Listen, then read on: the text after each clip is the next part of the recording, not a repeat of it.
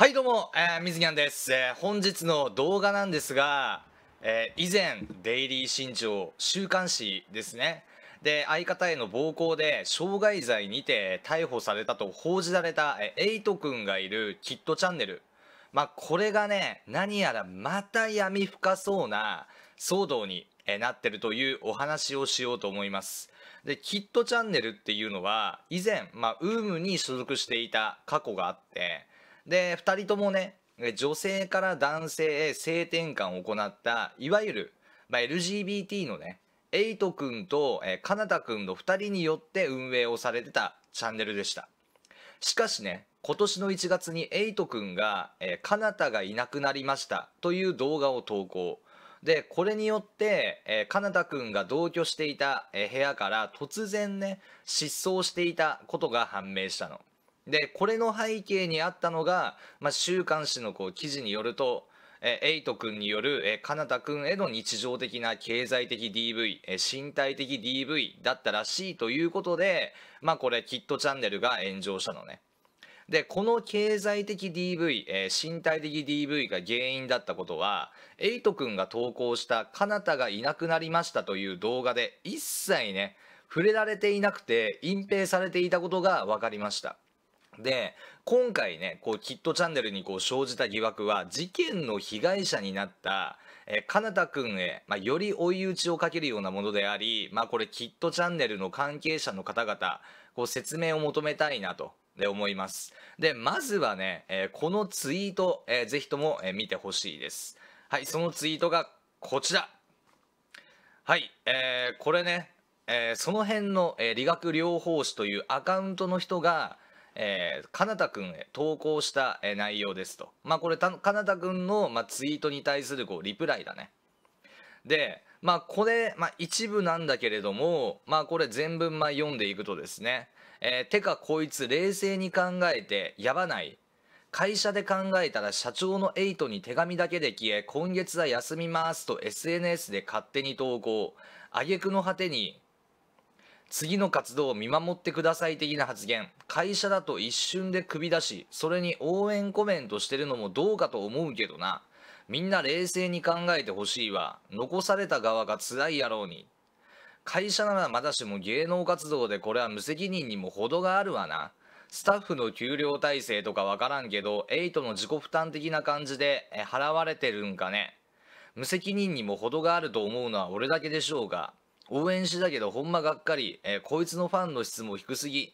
普通に社会人してる人ならこいつのやったことがどんだけヤバいかわかると思うけどな。スタッフが何人か知らんけどその人たちの生活とかどうするんって思うわ。ましてや仕事が仕事だからこの消え方は迷惑かけすぎてると思うけどな。こんだけ登録者いたら企業からの仕事もあったろうになと。えー、書いてあるんですね。まあ、随分とですね、これご立腹ですね。で、しかしなんですけど、ね、このアカウントにある特徴があることをですね、まあ皆さんお気づきでしょうか。で、キットチャンネルにはね、エイトくん、かなたくんの他にもう一人、あさとくんというね、スタッフがいました。で本人のツイッターのプロフィールには理学療法士と明記されているので、まあ、多分ねこう理学療法士の、まあ、資格をまあお持ちなのだと思います。でここからがね非常に面白いんですけど、えー、あさとくんがツイッターに登録している電話番号とえその辺の理学療法士のツイッターのアカウントに、え登録されている電話番号の下2桁が、え73という数字なんですね。でまあこれはツイッターで、公開されてる、まあ、部分なんですけれどもこの下2桁が一致しているかつ、えその辺の理学療法士のツイッターアカウントね、登録されているメールアドレスと、あさとくんの、えー、ツイッターにこう登録されているメールアドレス、あ、あさとくんのツイッターじゃなくて、あさとくんの、え、ブログにね、公開されているメールアドレスの頭2文字と、え、ドメインの、1文字、これドメインってのはアットマークの後ろね、の1文字が一致していることが、ね、判明なんですよ。で、このメールアドレスの、え、頭文字2文字、えあと、えドメインの、え1文字に関してはこれ、まあ、ツイッター誰でもまあ検索したらこれ公開されてるんですよ。なので、まあ、公開されてるこう部分が全一致こうしているということでこのあさと君とえその辺のこう理学療法士が同一人物じゃないかというね、まあ、疑惑がこう立ってるんですよ。でそしてねここからがねまた本番なんですけどその辺の理学療法士のツイートを見てみるとねであさとくん関連のツイートのみ、えリツイートやリプライがされてるんだよね。リプライしてるんだよ。であと、えー、かなたくんへの罵詈雑言を並べたね。そのかなたくんへのこうリプライ。という、えー、話でございます。だからまあこれね、まあ、仮にあさとくんとその辺の理学療法士というアカウントこれ同一人物であるんであればまあどんだけなんかねあのエイトくんの肩持ってんのって話だしまあ一応ねこんなこと言ったらね男女差別とか言われちゃうかもしれないけどまあ、やっぱりねあの体は変わってもなかなかやっぱ心の面っていうのは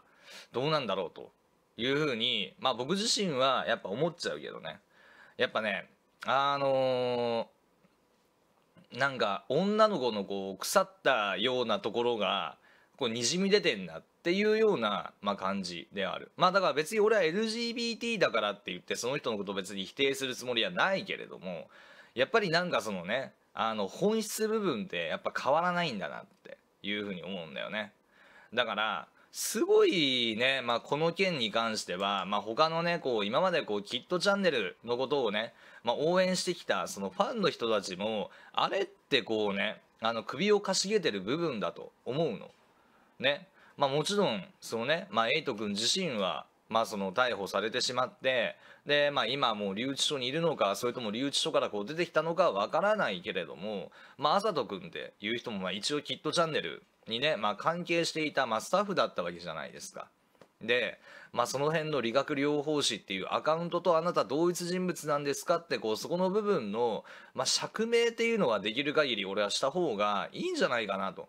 いうふうに思ってんだよね。でやっぱりこう明らかにねそのねエイト君の肩を持ちすぎな、まあ、意見を書いてるしでまあそのあさと君っていうのはさまあそう、かなたがいなくなりましたっていう動画の後に、まあ、キットチャンネルにこう投稿された、まあ、動画。そこに確かね、こう出ていて、で、そこでまあ、エイト君に、ね、質問をこうやって投げかけて、どうだったんですか？みたいなね。まあ、その、ある意味、まあ、その、かなた君代わりに、まあ、その、えっ、ー、と、エイト君の相方になってるような感じだったんだよね。で、やっぱりこう、それだけね、まあ、その、エイト君とまあ、親密な仲なわけじゃないですか。でこうやって、まあ、そのその辺の理学療法士っていう人のアカウントが、まあ、明らかにエイト君の、まあ、肩を持つような、まあ、肩を持ちすぎてる発言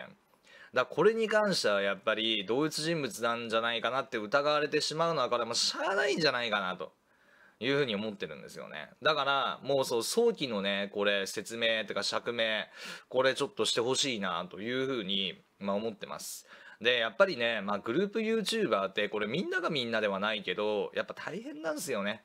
まあこれ、まあ、エイト君もそうなんだけれどもやっぱりねお金を、まあ、たくさん稼ぐわけじゃないですか。まあ普通に働いてたらもう稼げないような金額っていうのを、まあ、毎月毎月ねこう Google さんからまあ我々いただいたりとかするわけですよ。でまあ中には、まあ、頼人君みたいにね、まあ、お金にこう目に目がくらんでで天狗になっちゃったりする人もいたりとか、まあ、エイト君みたいにねまあそのね、同居してるカナダ君へ、まあ、DV をしてた人とかね、まあ、いるわけですよやっぱ。だからまあその本当にねあのお金ってこう人を狂わせると思うしでまあ本当反省してんのかねと。ね俺はちょっと思っちゃうな。こういうの見てるとね。だからまあちょっとエイト君もそうなんだけどあとねまあそのあさとくんに関してももうちょっとなんかね僕はねかなたくんに対して罪悪感これ持った方がいいと思うよ。やっぱねこれはねあの人としての、まあ、問題だというふうに思うしでまあ今後ねこう帰ってきて、まあ、YouTube 活動をこれ再開するのか再開しないのかわからないけれどもねまあその再開するにしても多分まあ応援してくれる人ってのはもう限りなく、まあ、少なくなってると思うし。で、まあ、やっぱりこうやってね、まあ、人にこう暴力振るったっていうのはね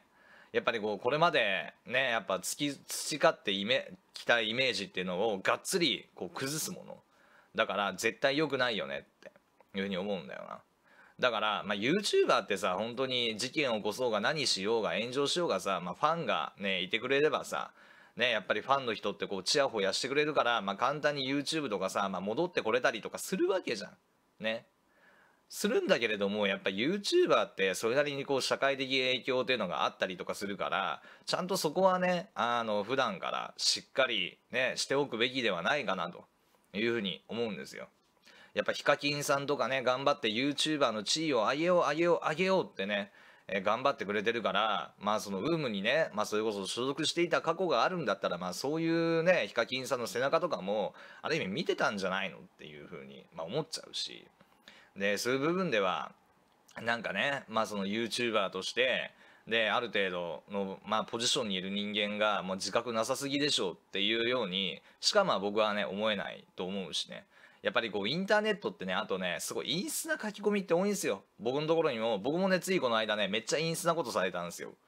だから僕ね電話番号とか、まあ、メールアドレス僕バレてるんですけどあの、まあ、だからね、まあ、悪いことなんか僕もできないんですけどね。あの僕の電話番号メールアドレス使って勝手にね、まあ、ピザ注文したやつがいるんですよ。で住所はもう全然違うところだったんだけど。でまあなんかそのさ、まあ、電話かかってきてね「あの〇〇さんですか?」って言われてで違いますってね言ってね。まあそのピザの配達はまあね。そうだから営業まあピザの配達というかまあピザ屋さんも分かってくれたんだけどあの犯罪ですからねやってることね。だインターネットにはまあそのね表面はいい顔はしてるけれどももう裏ではねそどす黒い感情を持ってる人とかも本当にいたりとかするんで、まあ、はっきり言うよ。もうみんなが言ってる、まあ、みんながね見てる YouTuber の中にもまあそのねあの悪いことをしてるやつは多分いると思うんでね。まあそういうのをねこれからもバッサバッサちょっと切っていきたいなと。で私は思ってます。まあちょっと後半の部分ちょっといらない話だったと思うけど、まあこのね、キットチャンネルのこの疑惑、この闇の深さっていうのをね、もうちょっとぜひみんなね、分かっていただけたらなというふうに思っております。まあ、てなわけで、えもし、えこの動画いいと思った方は、えグッドボタン、そして、えチャンネル登録の方ぜひよろしくお願いします。以上、水にゃんでした。え本日も動画見てくれてありがとうございました。じゃあね